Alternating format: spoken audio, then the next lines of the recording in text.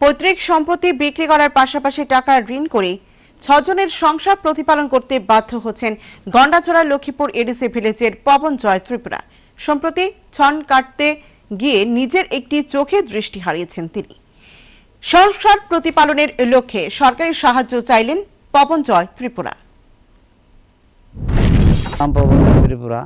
আমি মাসকুমির পাড়া বাসিন্দা গন্ডাছড়া লক্ষ্মীপুর এডিসি ভিলেজের।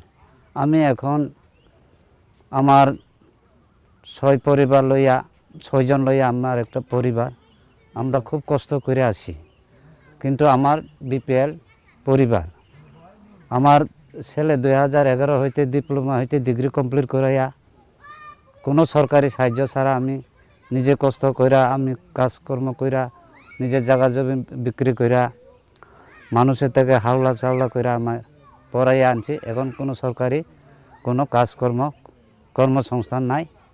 এখন বেসরকারি ইয়ের মধ্যে, ইয়া মিশনের মধ্যে, গন্ডাছড়া মিশনের মধ্যে, খ্রিস্টান মিশনের মধ্যে এখন মাস্টার করে। সময়ে সময়ে বাজারের মধ্যে টিউশনে যাওয়ান লাগে। পেটের দায়াতে কোনো কর্মসংস্থানের সুযোগ খুঁজে বের করতে পারতাছি না। এবং ছোটো ছেলে এখন আগরতলায় টিআইটি ডিগ্রি কলেজের এখন ডিগ্রি নিয়ে পড়তাছে। টিও নিজে নিজে টিউশন কইরা নিজে পড়তাছে। কোনো আমার টাকা পয়সা পাঠাইতে পারতাছে না।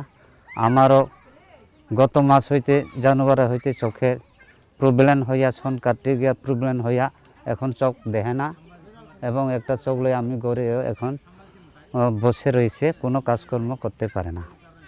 এবং মেয়েটা আমার এখন গন্ডাছড়া ডিগ্রি কলেজে ফার্স্ট ইয়ারে ফার্স্ট সেমিস্টারে পড়তেছে। এখন কারোরে আমি টাকা পয়সা জোগাড় করতে পারতাছি না। সেজন্য যদি সরকার বাহাদুর আমাকে দৃষ্টি আকর্ষণ করে বা দয়া করে আমার যদি এই ডিগ্রি পোলা যে বারোই আইছে তাদেরকে যদি কর্মসংস্থান করতে পারলে আমার উপকৃত হইব।